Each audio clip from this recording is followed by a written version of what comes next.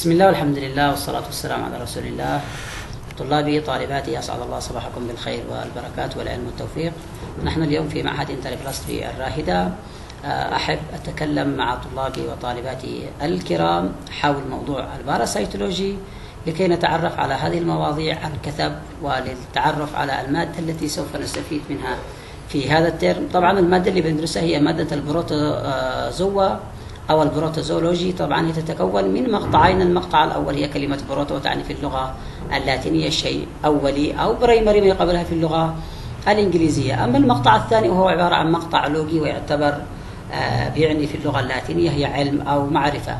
أما كذلك عندما نتكلم عند علم أو مادة علم الطفيليات والذي يعتبر هو ال introduction أو المقدمة لعلم ال protozoa هو عبارة عن علم الطفيليات ال parasitology وهي مكونة من مقطعين. المقطع الأول هو عبارة عن ال parasite أو parasito.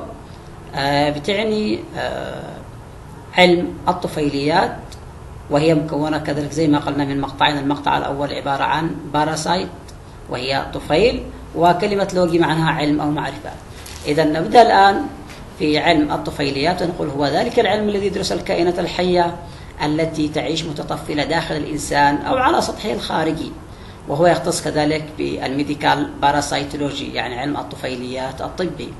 تقسيم العلاقة بين الطفيل والمضيف إلى أربع علاقات. هناك علاقات تعايش بحيث يستفيد الطفيل من آه العلاقة الأولى هي علاقة التعايش وهي عبارة عن علاقة آه بحيث يستفيد الطفيل من المضيف دون إحداث ضرر أو أذى للمضيف ولا يستفيد من المضيف. من الطفيل.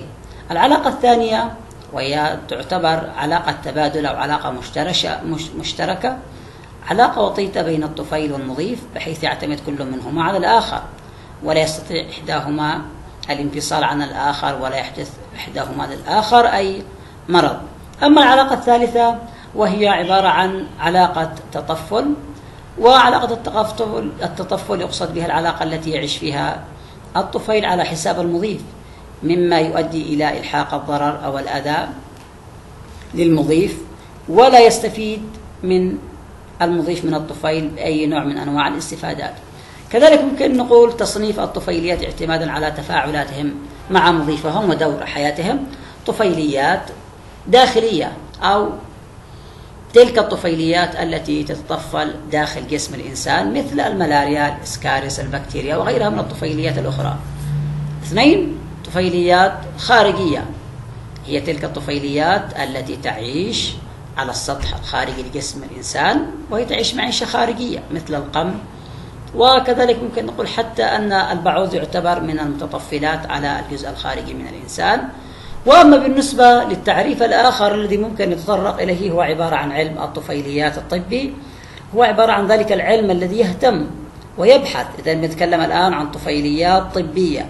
إذا كان أول علم الطفيليات بشكل عام ممكن أن حتى نقول أن علم الطفيليات بعيدا عن علم الطفيليات الطبي بشكل عام هو عبارة عن أحد فروع علم البيولوجيا الذي يهتم بدراسة الطفيليات التي تتطفل على الإنسان أو الحيوان أو النبات. لكن عندما نتكلم عن علم الطفيليات الطبي فأقول هو عبارة عن ذلك العلم الذي يهتم ويبحث في الطفيليات التي تتطفل على الإنسان وتحدث له الأمراض أو الإصابة.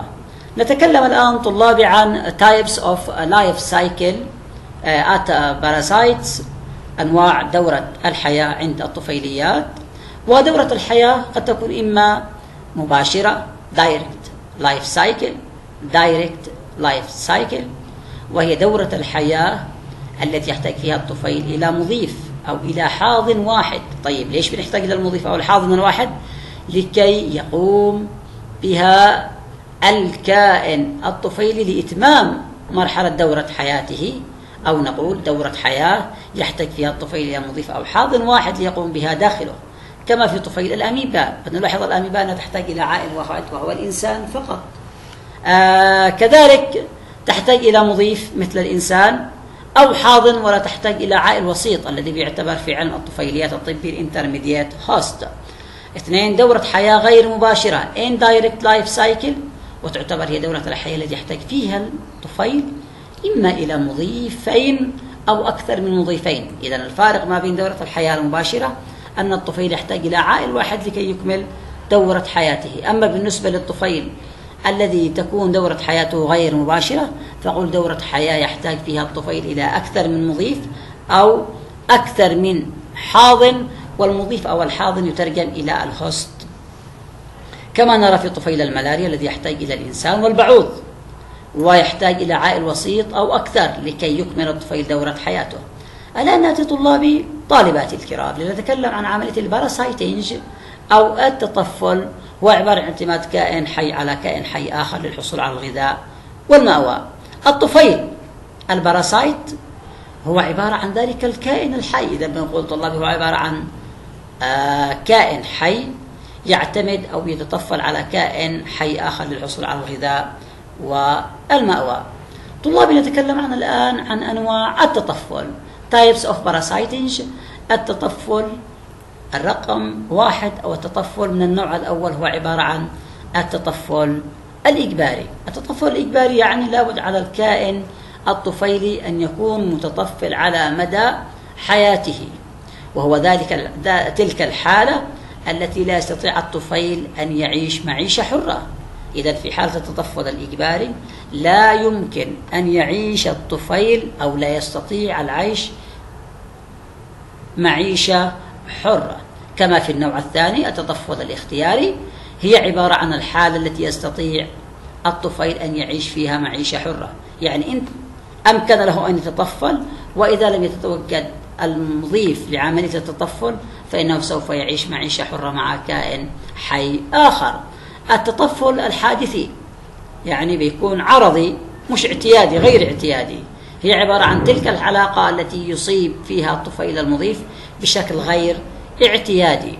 أربعة وهو النوع الرابع من أنواع التطفل وهو التطفل الشاذ وهي تلك الحالة التي يتطفل فيها الطفيل على المضيف عندما لا يستطيع العيش أو النمو. طلاب نأتي الآن إلى العائل الهوست أو المضيف. عبارة عن كائن حي يؤوي الطفيل ويزوده بالغذاء والمأوى بعدة طرق. أنواع العائل. طلاب طالباتي نتكلم عن أنواع العائل والمضيف. نبدأ بالحاضن النهائي أو ما يسمى ب definitive host or final host. هو عبارة عن الوسط الذي يتكاثر فيه الطفيل تكاثر جنسي. إذا طلاب نقول عندما يتكاثر الطفيل أو الكائن المتطفل على الإنسان ويتكاثر فيه تكاثر جنسي يعتبر حاضن نهائي مثل الإسكارس حينما تتعايش في داخل تجاويف الأمعاء ويحصل عملية fertilization أو إخصاب ما بين الذكور والإناث نلاحظ عملية الاتحاد أو الاتصال الجنسي.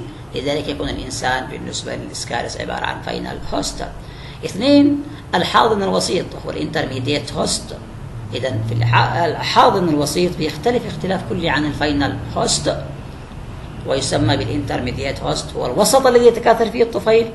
تكاثر لا جنسي يعتبر الإنسان بالنسبة للملاريا عبارة عن intermediate host وليس ال final host وذلك لأن طفيل البلازموديوم بيتكاثر في الإنسان تكاثر عن طريق ال schizont in liver cyto in cell liver أو في خلايا الكبد وكذلك في الخلايا الدموية الحمراء ويعتبر تكاثر لا جنسي.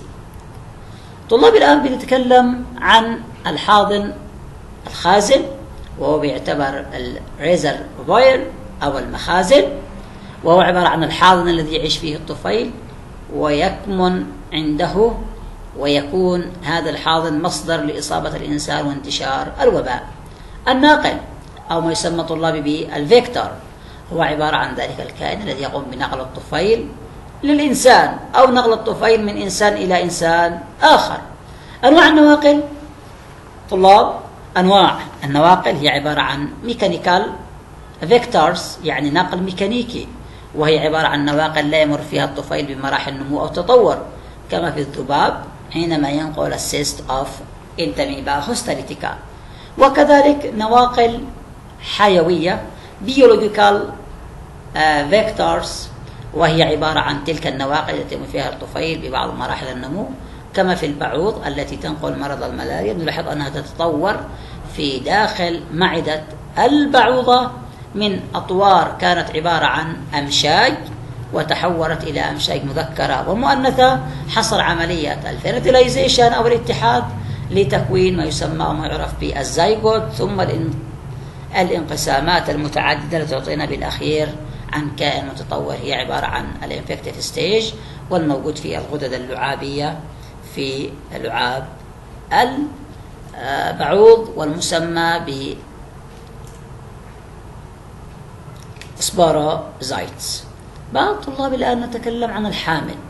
هو عبارة عن الكائن المصاب بأحد الطفيليات بحيث لا تظهر عليه العلامات المرضية.